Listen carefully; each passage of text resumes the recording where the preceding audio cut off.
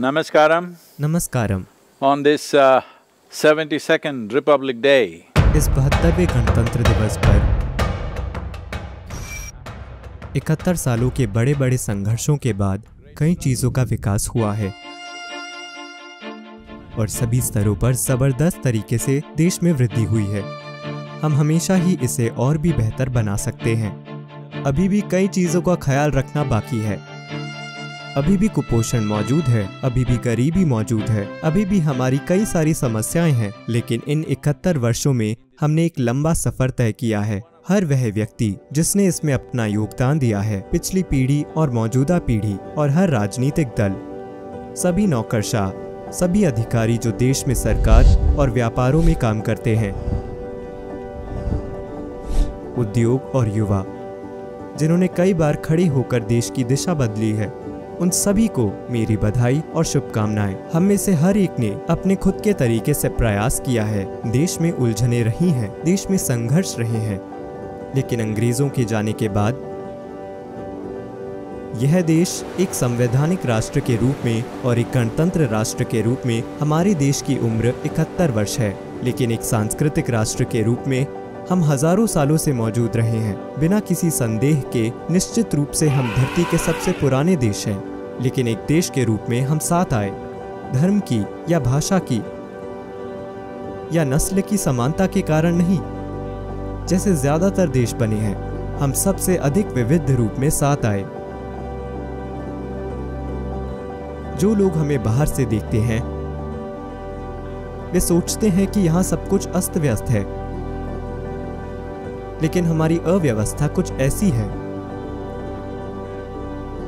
अगर आप किसी बगीचे की तुलना किसी जंगल से करें तो जो बगीचे में रहते हैं, वे जंगल में जाकर हकबका जाएँगे। लेकिन अगर आप एक महीने तक बगीचे का ध्यान न रखें तो बगीचा बचेगा ही नहीं। लेकिन जंगल लाखों सालों से मौजूद रहे हैं। तो जो ऊपरी तौर पर अस्त व्यस्त लगता है, उसमें खुद को बरकरार रखने की ज़बरदस्त क्षमता है।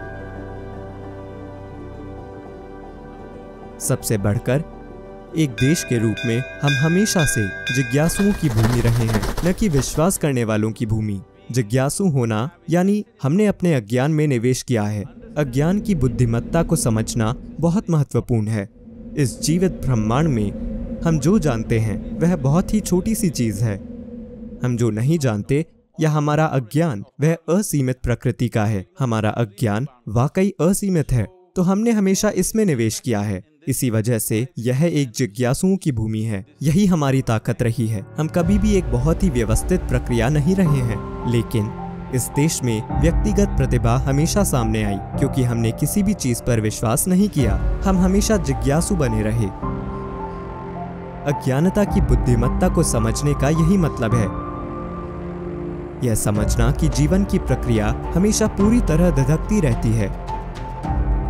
अगर आप विश्वास करने वाले बन जाते हैं तो आप थम जाते हैं। लेकिन जब आप एक जिज्ञासु होते हैं तो आप लगातार धधकते रहते हैं।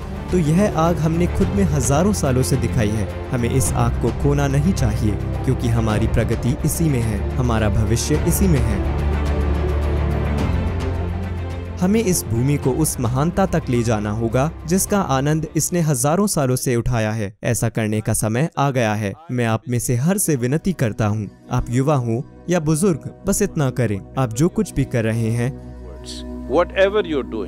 अभी मैं जो चीज़ कर रहा हूँ क्या वह इस देश के लिए अच्छी है या इस देश के लिए अच्छी नहीं है?